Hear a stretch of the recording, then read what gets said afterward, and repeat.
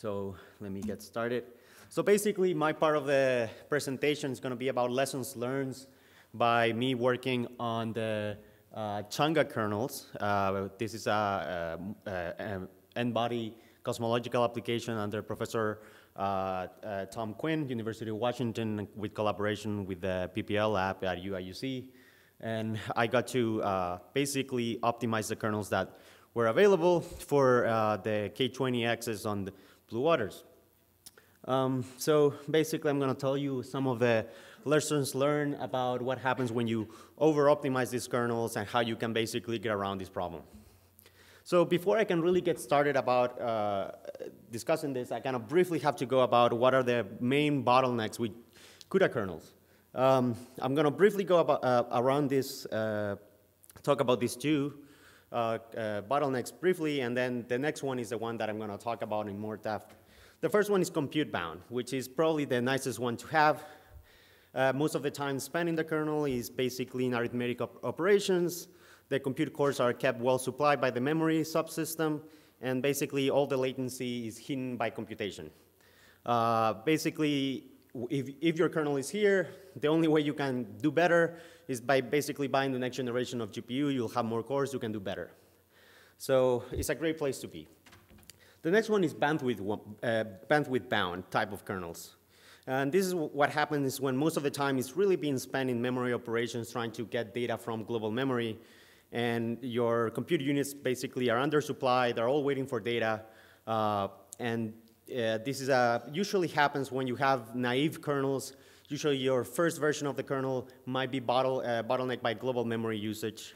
And the best way to go around this is basically by start using the, uh, the memory hierarchy in CUDA GPUs and uh, start optimizing uh, in, in the way people teach CUDA uh, GPU classes, you know, you share memory, thread coarsening, etc.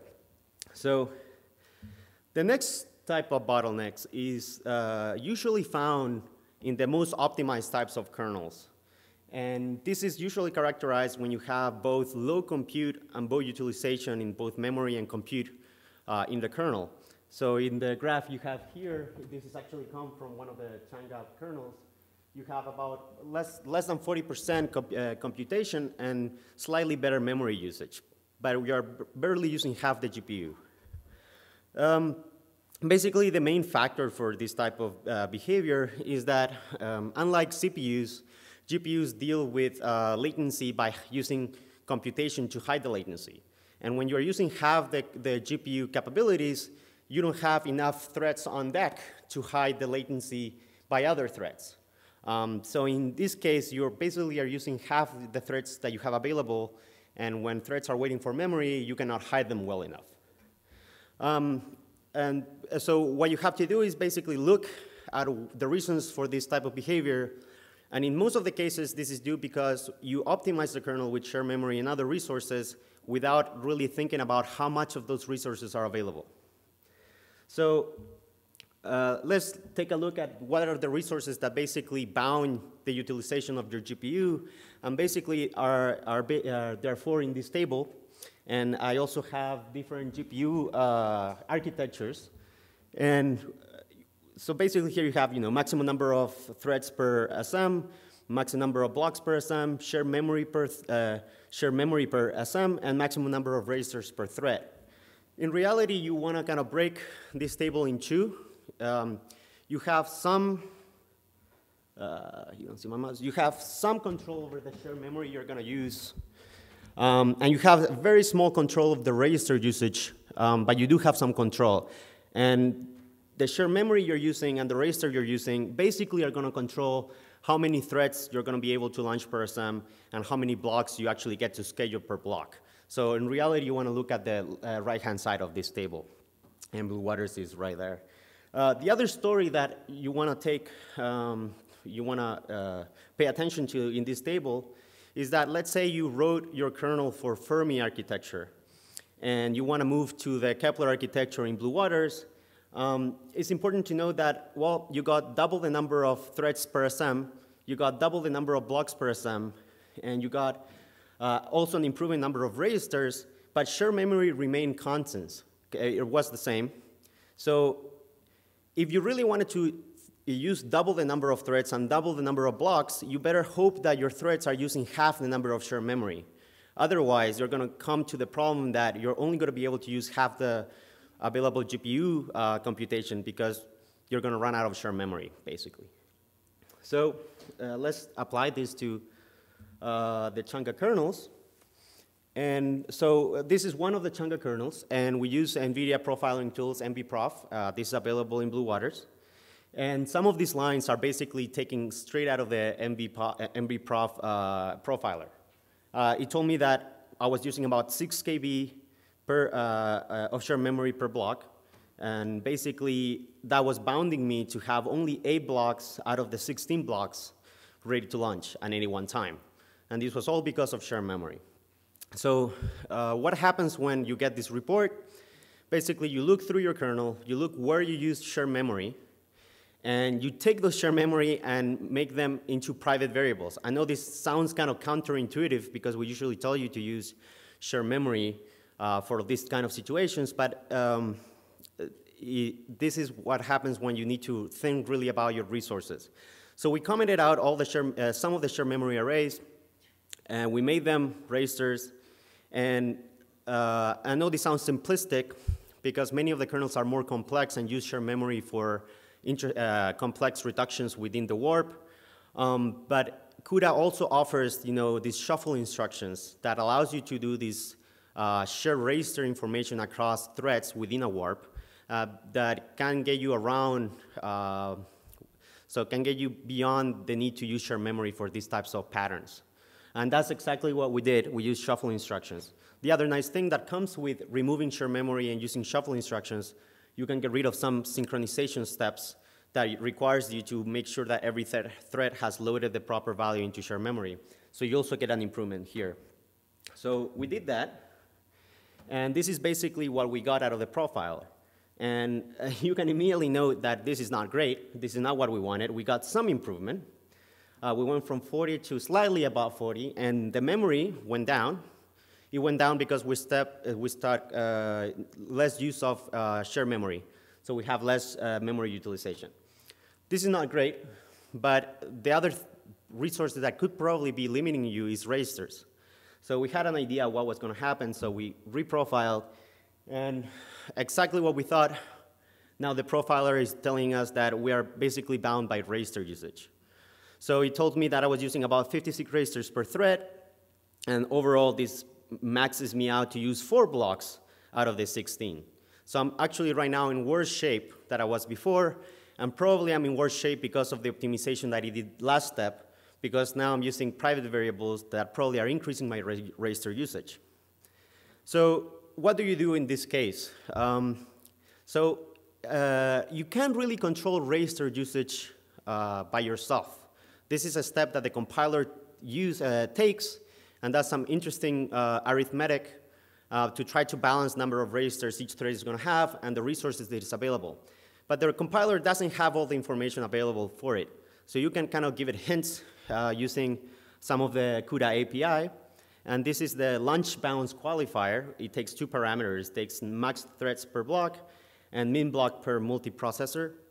The second parameter is actually optional. I usually leave it as one. Uh, so what you do with the max thread per block is that if, let's say, you're launching 256 threads, essentially you're going to lie to the compiler and say, I'm actually going to use double. And what the compiler is going to do is says, well, I need to account for double the number of threads, so I need to uh, spread the, the registers um, properly. So you're actually going to use less registers per thread. Um, but this is kind of a dangerous game to play because essentially when you lower the number of registers, you are increasing the number of, uh, of local uh, memory accesses and also increasing the number of instructions that eventually you're going to put in the PTX because now you have to load instruction and go to memory and get the resource that used to be in a, in a, in a register. So this is something that you want to keep playing and iterating through until you find the right, uh, the right balance. So this, this uh, we applied this optimization, and this is the result that we got. Uh, this is what we really wanted. We went from about 40% utilization uh, to approximately 70% of utilization. This is much better. Um, you ideally want to see around 80 um, out of the uh, total 100. Um, but when we tr kept trying to minimize the number of registers, we started getting penalties because we were just going to memory all the time. Um, so this is something that you really want to take into account. So what does all of this mean in terms of speed up? Because at the end of the day, if this doesn't run any faster, it's worthless if you have more utilization. So these are the two kernels we uh, improved in Changa, particle gravity computation and non-gravity computation. Both of these kernels were not trivial kernels, were highly optimized. Uh, they were using all the proper techniques that we teach in class, thread coarsening, shared memory usage. The problem was that when they optimized, they didn't take into account the number of resources actually available on the GPU. Um, at the end of the day, we improve uh, utilization from 40 to 70, getting about 1.66x speed up, and the other one we got from 30 to 60, getting about 2.1 uh, time x, uh, x speed up. So you can see that when you write GPU kernels, um, is essentially uh, really important to profile because you could maybe get 5x, but you don't know if you left around 2 extra x in the table um, because you didn't, didn't know if you're using the resources properly. So it's a really important lesson of profile your application, make sure what is the bottleneck, um, and that will basically let you know what is the next optimization you should apply. Um, with that, I'm gonna leave it for Carl who's going to talk about different types of uh, different type of nodes from Blue Waters and taking an application from Blue Waters to this type of node. Um, any questions before I give it off to Carl? Yes.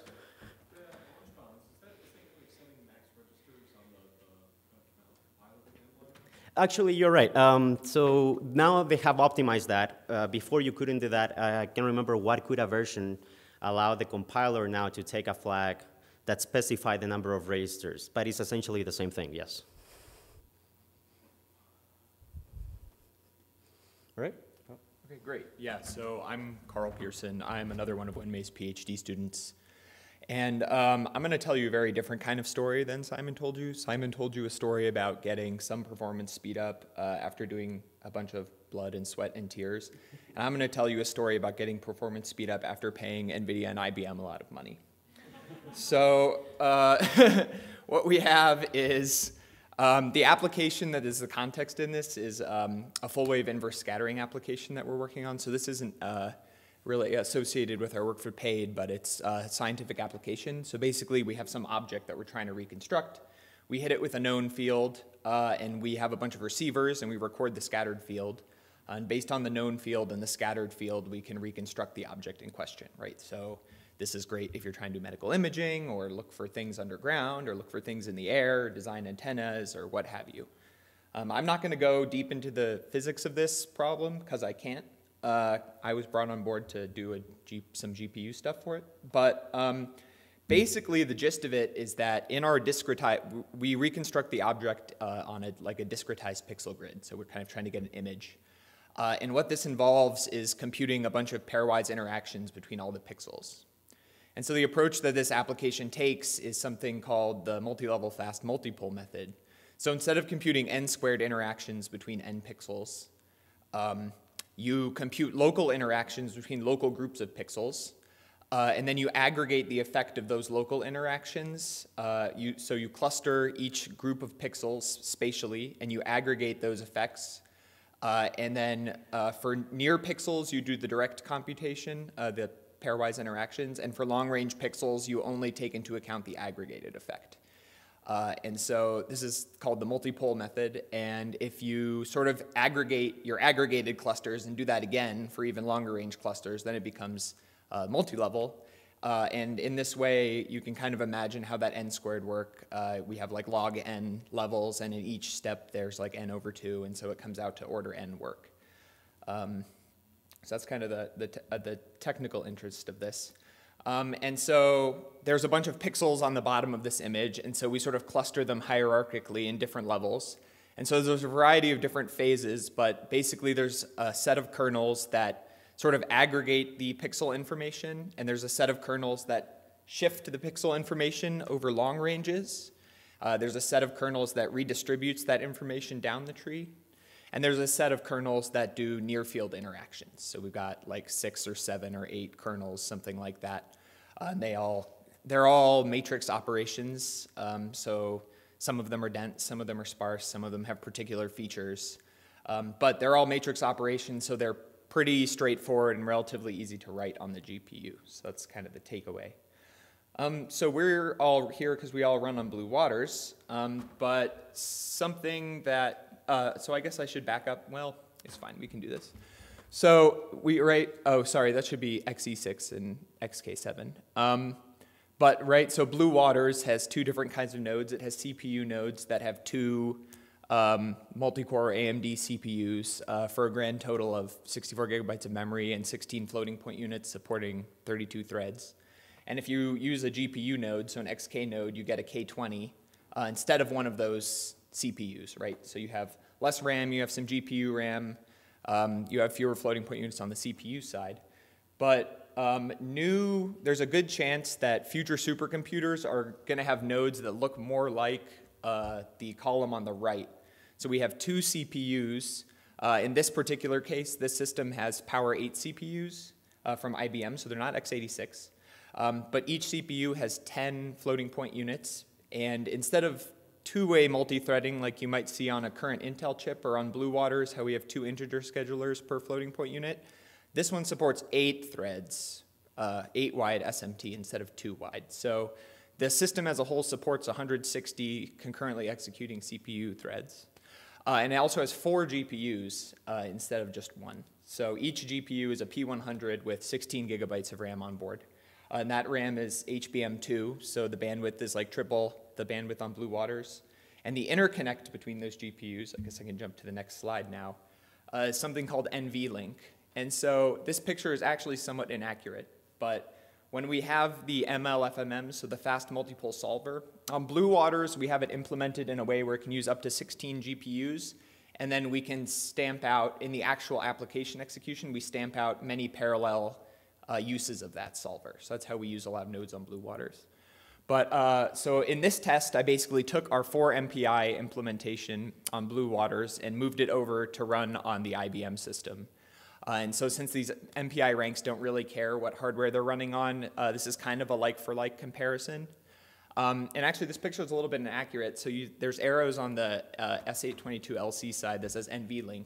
So instead of the I think it's like 8 or 16 gigabyte PCI links on Blue Waters. Those are each 80 gigabyte links. And also there's point-to-point -point links between the GPUs that aren't shown on here that are also 80 gigabytes. So if your particular application is bound by the cost of moving data between GPUs or onto GPUs, uh, you're going to get some relief probably on the next supercomputers that are built. Um, so right, so what I'm showing you now is just something with four MPI ranks running. Uh, and the great news is that it's way, way faster. So on the right-hand side here, we can see on the top, this is uh, just performance of running on XE and XK nodes on Blue Waters. On the bottom right is performance just running under different characteristics on 822. So uh, the one thread is a sequential CPU execution. You can see the light gray bars are the runtime and the dark gray bars are the speed up over the sequential execution in the respective graph.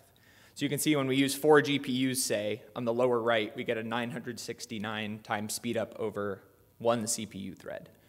Um, and you can kind of do the comparison yourself for, you know, on the IBM system, we get, when we use 160 threads, we get a 26x speed up. Um, but kind of the interest, some of the interesting things are, uh, if I, you pull the numbers out of this graph and crunch them, uh, when we're moving from this current Blue Water system, which is relatively old uh, in computer land, and moved to this new system, the CPU, single thread CPU performance changed by only 17%. Um, and, but when we compare multi-thread, so sort of the fastest multi-thread implementation we have on Blue Waters, the speed up grew to 1.75. Um, but importantly, the, the code executing on a single GPU uh, increased by five times.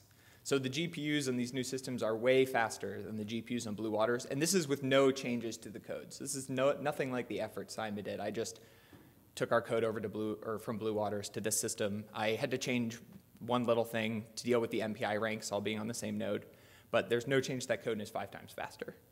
Um, and if you look at on kind of a per node basis, so the fastest implementation I have on Blue Waters is the one GPU implementation, and the fastest implementation I have on the IBM system is four GPUs. Then we're talking a speed up of like 20 on a per node basis. Uh, so these are some pretty nice results. Uh, all we had to do was pay a lot of money to buy a new system. um, but so there's some kind of interesting things. Why? What the, what's the reason for this? So Simon showed a little bit of information about this, but basically, um, the core clocks on the new GPUs are like twice as fast. So all else being equal, they're going to be able to do twice as much work per unit time. Uh, the memory bandwidth is like three times higher. So if you're memory bandwidth bound, you'd expect a three times per, uh, memory performance improvement. If you're bound by things like shared memory bandwidth, it's actually even better. The aggregate shared memory bandwidth is e even higher. Um, but there's basically the way these new chips are designed is that each thread is given more resources. So a little more shared memory, more registers, but each SM um, can handle fewer of the threads at the same time, but there's way more SMs. So in aggregate, the chip is much faster. Um, so I took a particular one of our kernels. So our average kernel time improved by like five. These numbers are slightly different because it was a more detailed run that I did to get some new information. But uh, the MLFM speed up is still about five. But I had a particular kernel that sped up by eight, which was way more than the rest. So I thought I'd dig into it and look a little bit why. Uh, and actually, this was another kernel where the performance was limited by, uh, the occupancy was limited by the amount of shared memory that was being used. This exact case that Simon was talking about. And so on these new GPUs, um, the reason that this was so much faster is because the new GPUs basically have more shared memory available per thread block, so the occupancy was higher. Um, I just looked into that. There's not too much to say there, but there it is. So, you know, some things that I kind of learned in this simple experiment was that I glossed over this a little bit while I was talking, but if I have some particular sequential CPU execution and it's not super well optimized in terms of fully utilizing memory bandwidth or floating point units, if I can stamp out 160 of those threads instead of 32, uh, basically I'm relying on the hardware to do more of the optimization work in some sense than me. Um, because if I have 160 threads all trying to issue floating point and memory instructions, it's going to have more utilization than 32 threads. So that was kind of a nice feature. So we end up getting you know more speed up uh, by using 160 threads than 32. Um, the CUDA code, there's a lot of direct speed up, it seems, just from moving your CUDA code over without any work. Uh, and in some cases, like Simon was saying, uh, if you're willing to put in the effort to tune your kernel, I'm sure you could get even more for these new architectures. So this was kind of a simple experiment, but it was some scientific code in the future. Things are looking pretty bright. That's what, that's what I've got.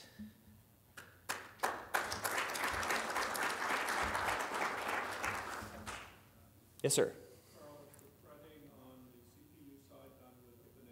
Mm-hmm. Yes, yeah. So uh, that was yeah with OpenMP. Um, I think it was using G++. Yeah.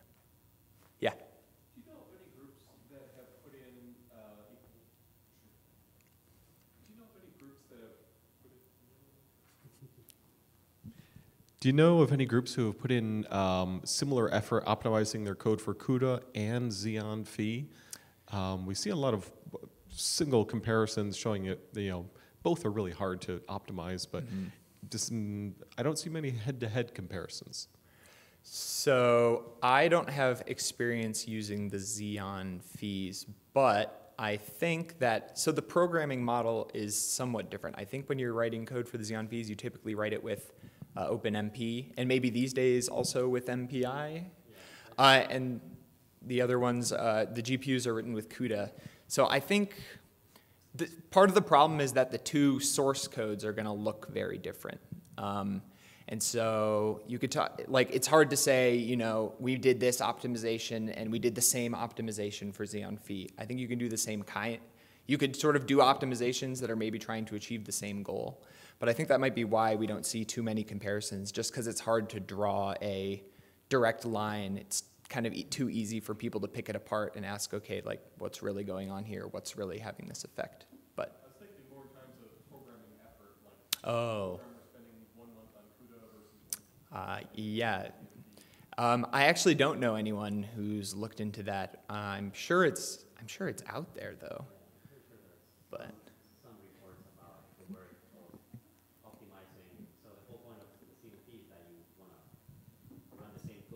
fairly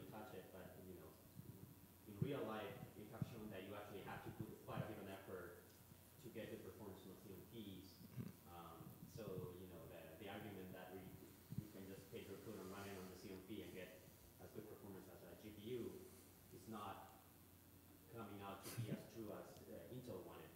Um, but it's, they're trying to make it less uh, difficult through the compiler.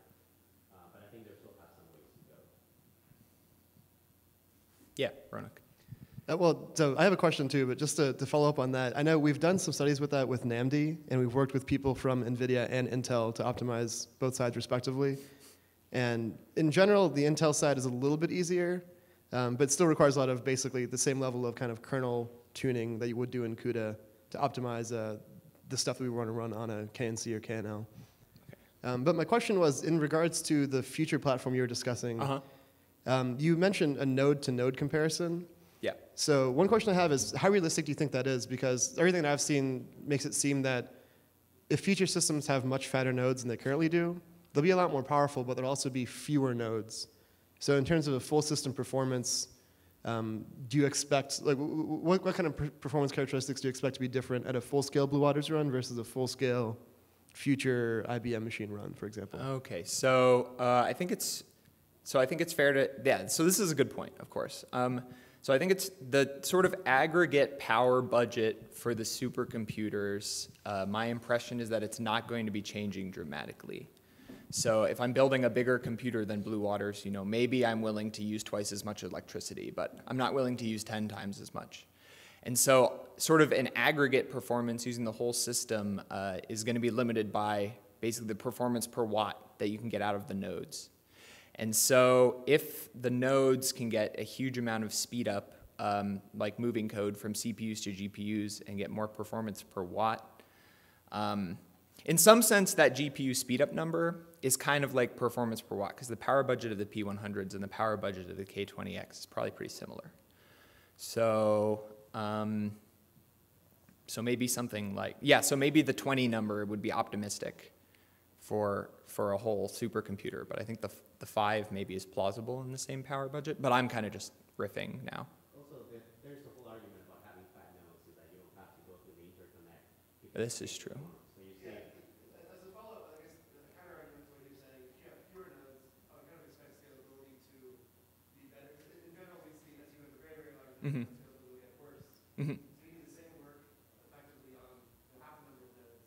the same scaling objects. Yeah, Yeah, definitely true. Uh, and in this case, uh, we didn't really end up investigating that because this application, at the scales we're running it at, we've entirely overlapped the MPI communication with. Uh, it's just because of this particular application that we didn't really get to see anything like that. But that's a good point. Yeah, have, have, have a question. So, how do you see the single core performance, especially the integer performance comparison between the uh, Power 8 CPU with, versus the uh, AMD CPU on Blue Waters? Because I think uh, if it goes to the fat node, then the the majority of the computation power in terms of floating points comes from the GPU, and the CPU is just like a uh, driver for the whole program for the control flow. So I think it's more important to to investigate the uh, single, I mean, the integer performance of the CPU itself. Yeah, um, and this is a good point. So this was a simple experiment. I didn't really dive that deeply into the CPU performance, but anecdotally, what we've heard from people is they've done some experiments about you know driving GPU intensive codes with like weak CPUs like ARM CPUs, and sometimes the CPUs in that case becomes um, uh, relatively limiting for the performance of the whole system, kind of like you're saying, because the CPU has to do a little bit of control flow, set up the kernels, and launch them. Uh, but I don't have a, uh, you know, really a useful answer for you on that for this. But yeah, sorry.